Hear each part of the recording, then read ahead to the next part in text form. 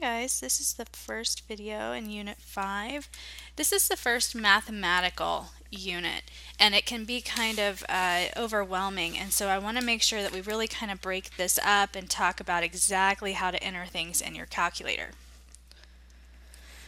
So for this one, we are going to be working on atomic mass, and so we're really just going to be focusing right here. Uh, we dealt a lot with mass uh, numbers and when we were talking about isotopes. And now we're going to kind of continue into the atomic mass. And so we're going to look at how the atomic mass is reported on the periodic table, why it's reported the way it is, and just how to calculate that. So when we were dealing with isotopes, we talked about mass number, the number of protons, the number of neutrons, and that's great. It's a whole number. It's, you know, easy to deal with. The problem with that is it is not um, exactly the best measurement um, to use because we have so many different isotopes per element. Um, and so, for example, carbon has carbon 12, carbon 13, and carbon 14. There are other elements that have five or more isotopes. It's just too too much to keep track of. And so the atomic mass that we use isn't the average of the mass numbers.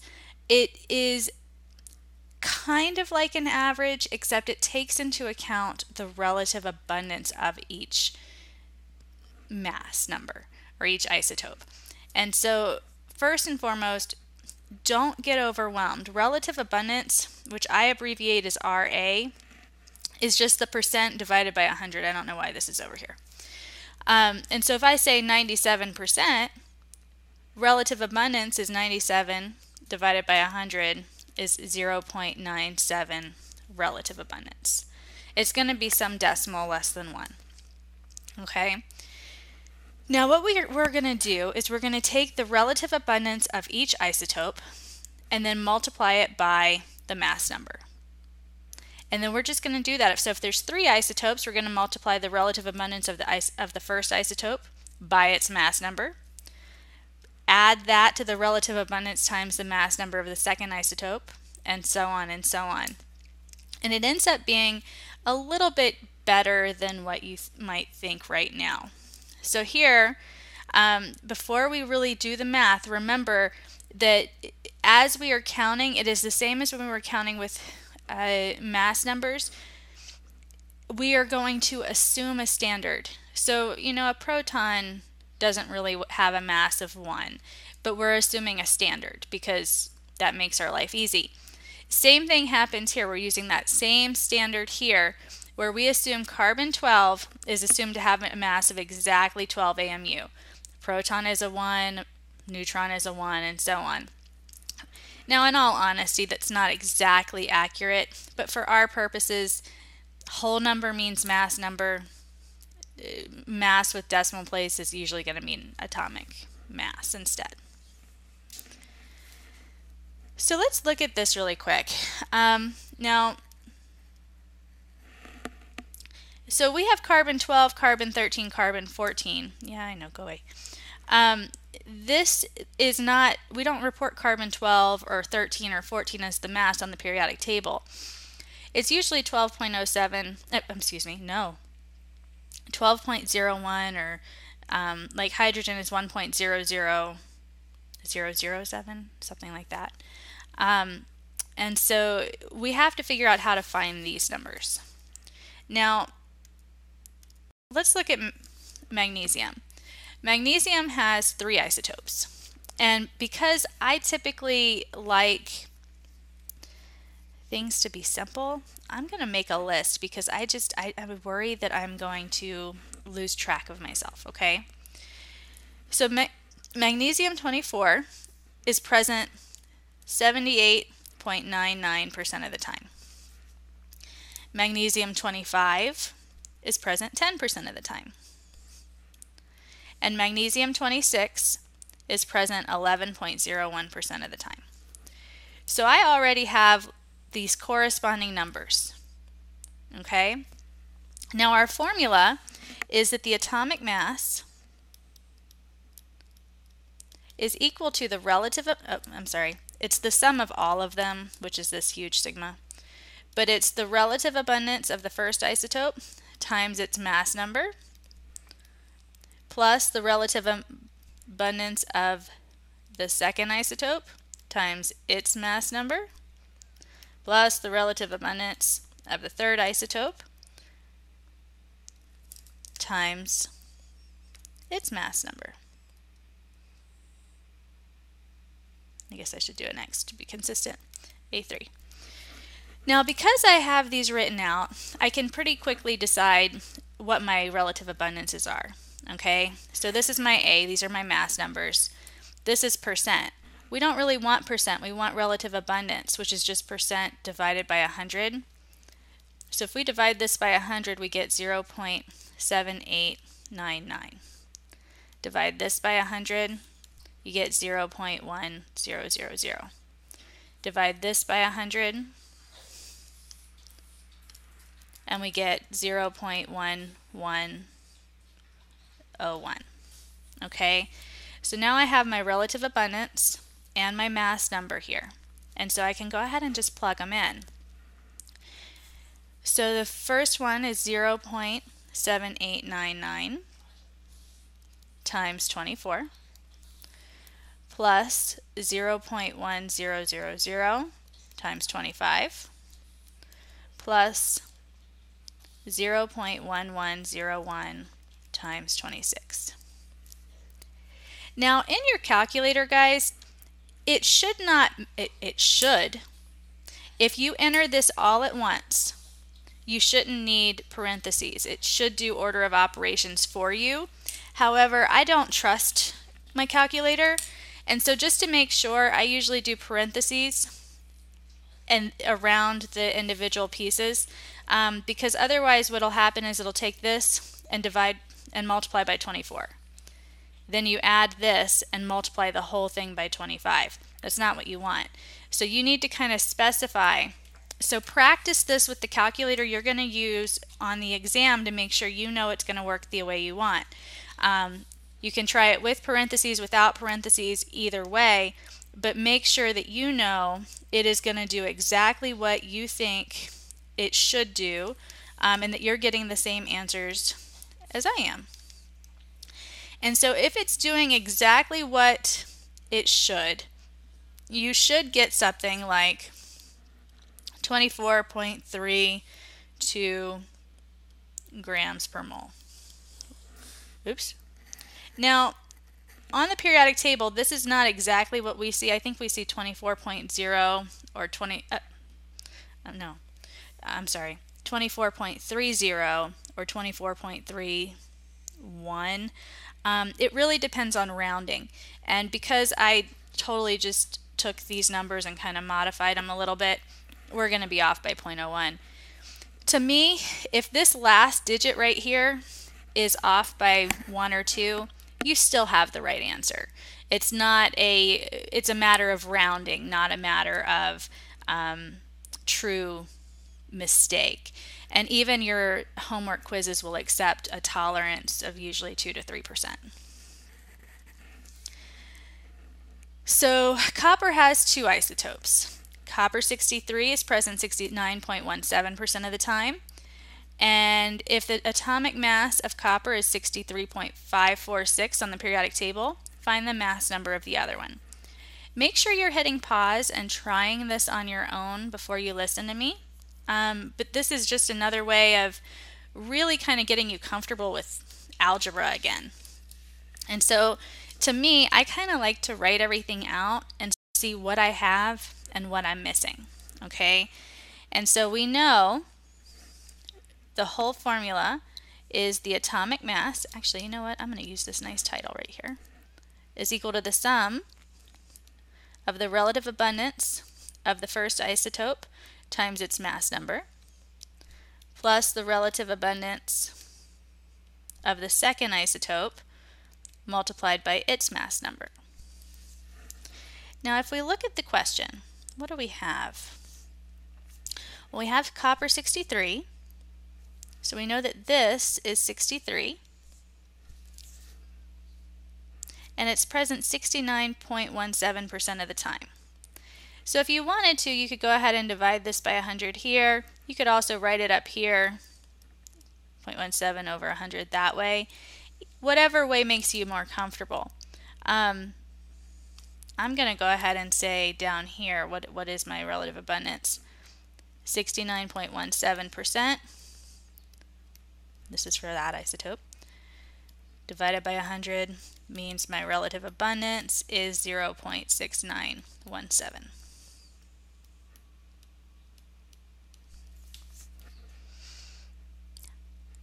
We don't have the other isotope, uh, its mass. Um, in fact, it doesn't even really specify the relative abundance or the percent here, but we can find that. Let's plug in what else we know. So this is 63.546. Now let's go over here. We've got two variables here. That's a problem. But if there's only two isotopes, those two things have to, it has to be one or the other 100% of the time. You can't say, you know, if you go to the, the I don't know, Dairy Queen maybe, and they have chocolate and vanilla and nothing else, and you say, I want strawberry, they're just going to look at you like you're crazy. It's either chocolate or vanilla. You don't, there's nothing else. So 100% of the time, you have one of two things. Let's go with purple. So to find the relative abundance of the this guy, we know that 69% of the time it was the one, which means the rest of the time it has to be the other. And so to find that, we can just subtract 69.17% from 100 to find that the other isotope is present 30.83%. And if we wanted to, we could go ahead and convert that to a relative abundance, which we need to do. It's going to be 0.3083. And so I'm going to come up here and type in 0.3083 times A. Now at this point, we have all but this, this variable, so we can go ahead and plug it in. Now, depending on where you have um, your have taken math before, how long it has been, what state you were in, guys, the way that you solve these types of problems is going to vary, and that's okay. Um, if you don't like it the way I do it, that's fine. Do it your way.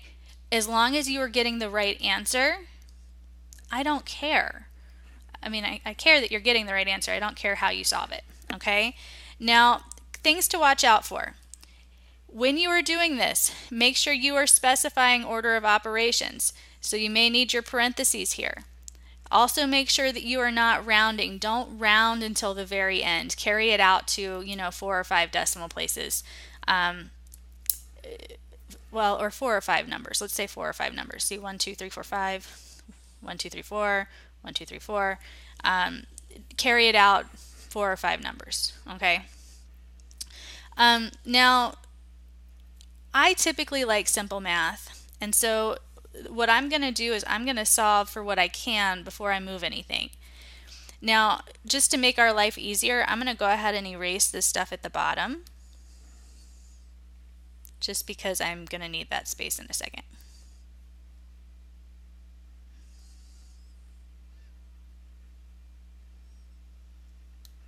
Okay. Now, if I plug this into the calculator right now, what we would have is 63.546 is equal to, and then I'm going to enter that, that 0.6917 times 63, just because I would rather look at one number here than all of them. 43, 43.577, and I'll go all the way out to 1. And then that's plus 0.3083 A. Now, again, I typically like things to be easy, so I'm going to solve what I can now. The first thing I want to do is go ahead and get rid of this 43. Let's put all of our numbers on one side. So I'm going to subtract 43.5771 from both sides. And so what that's going to do, 63.546 minus 43.5771, I'm just triple checking my math here, gives us 19.9689 is equal to 0.3083A. Now at that point, we can divide both sides by this 0.3083. Okay, so that's going to cancel here, and we're going to be left with that 19.96 and so on, divided by 0.3083. And so our mass number ends up being 64.77. Uh, mass number is supposed to be a whole number, so this should really probably round to about 65. Now in your quizzes though guys, it's going to specify does it want it does it want you to answer to as a whole number? Does it want you to answer to two decimal places? Just make sure you're reading your, your directions, okay? This to me is probably the hardest part of this um, this unit. The math is not always pretty, but it is important. It's kind of like if you go to the, the grocery store and you need to get, if you've ever tried to buy like a bell pepper for a recipe, um, specifically red bell peppers, it's really interesting to me because, you know, green bell peppers are like, you know, what, 10 for a dollar, but the red ones are $5 for one. And so if you're a cheapskate like me, you may sit there and go through every red pepper in the bin to try and find the biggest one. And that's because you want to get the most bang for your buck. Um, now, the point of this is not all atoms are the same size, okay? And while we're taking into account a relative abundance here, I just want to show you how they get this. Now, I'm not going to test you on mass spectrom spectrometry. I just don't think that you need to know it.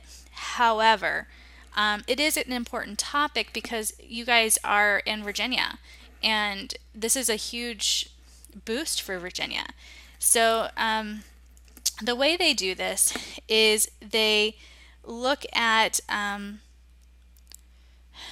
well, consider if you were going to throw a baseball in class, I always say, you know, if I wanted to throw a baseball at the door, not only would it hit the door, it'd probably go out the glass window. And, um, you know, then I'd get in trouble. But if I were to throw a bowling ball, so, you know, if I threw a baseball, it would go bam through the door. If I tried to throw this big bowling ball, though, what's going to happen is just like at the bowling alley, it's going to go like this and then it's going to drop. Okay? And so heavier objects fall before, you know, gravity has a bigger pull. And so the idea here is just like with bowling balls and baseballs, you can have those mass numbers are going to have different sizes. And so you can take a sample and really truly um, just burn it, you know, um, completely vaporize it and throw it through a detector. Now, the heavier the object, now this is actually upside down because this is, you know, the floor the heavier the object, the more it's going to fall. And so you can kind of tell on your detector where it hits what isotope it is. And then you can kind of count those hits to see the relative abundance, like how many times did this one hit? How many times did that one hit? And so you can kind of determine how much you have. Now, atomic absorption was used for a really, really long time. Um, but mass spec has only been around generally briefly. Um, and, you know, in, I don't know, was it the 80s or 90s? John Fenn um, came up with this idea that, you know, we didn't have to just do atoms. We could actually do this with entire samples, look at proteins and chemical markers for diseases and things this way. And he was laughed at for a really long time because they told him it was going to be like getting an elephant to fly. And anyway, he um, he stuck with it. He kept doing his research. The Ivy League school that he was at revoked his funding. I won't tell you which school it was. They revoked his funding and kind of took away his lab. So at that point, um, VCU over in Richmond kind of, you know, were like, oh, here, come here, come here. You can have whatever you want. And they gave him this really great lab space. They really gave him some prestige, you know.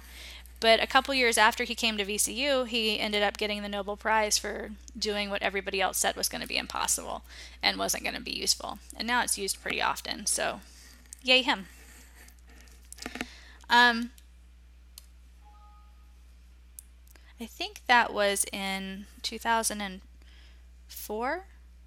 2000 and, 2004 plus or minus a year is when he got the Nobel Prize. So, yay, Virginia. So from this video, guys, you should be able to calculate the atomic mass or find the mass number of one of the isotopes.